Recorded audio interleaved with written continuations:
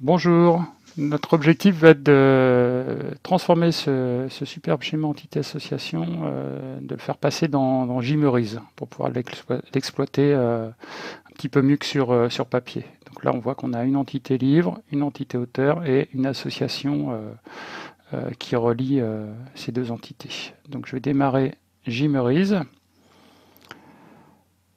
Alors Gmerise c'est un logiciel, donc merci ce monsieur, hein, parce qu'il nous a fait un logiciel euh, de grande qualité qui est gratuit. Donc là, je vais adapter la fenêtre, euh, la fenêtre de Gmerise à l'écran. Voilà.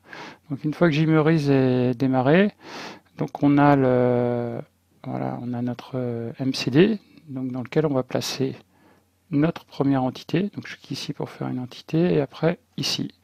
Donc pour ouvrir les propriétés, double-clic. Donc ma première entité, c'est l'entité livre. Elle a un identificateur, c'est l'ISBN, donc qui est composé de 13 caractères. Donc comme c'est un identificateur, on dit que c'est une clé primaire, on le crée.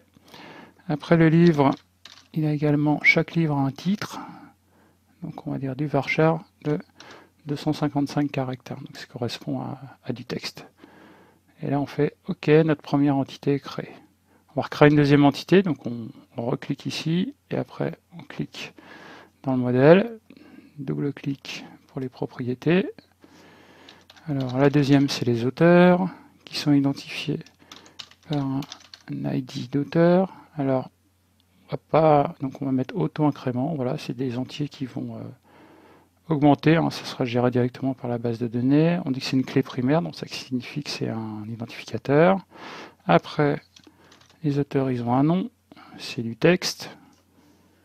On va dire 255 caractères au maximum. Et les auteurs, ils ont également un prénom. Donc, même taille, 255 maxi.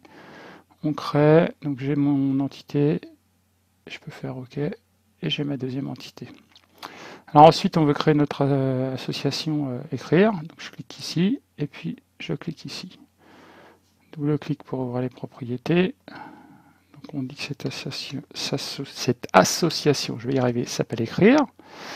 Euh, elle n'est pas porteuse d'informations. Donc on est là. Ensuite, pour relier, donc là je suis sur la sélection, donc je repasse sur, là je passe sur cette petite icône qui va me permettre de dire entre ça, je clique une fois et ça, je mets un lien.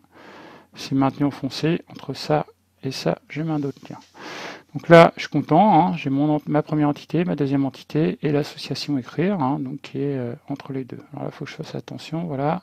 Si je veux la déplacer, je retourne ici sur le curseur et je peux bouger euh, mon, euh, mon, association. Tiens, je sais pas pourquoi ça bouge pas. Voilà.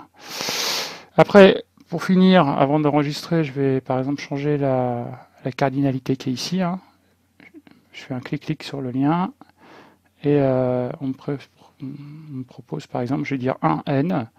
Si je donc je fais OK, hein, juste pour dire que voilà, euh, si je mets un auteur, euh, si je considère un auteur, je veux qu'il ait au moins écrit un livre. Voilà, donc je vais m'arrêter là. Alors, avant de m'en aller, j'enregistre mon superbe.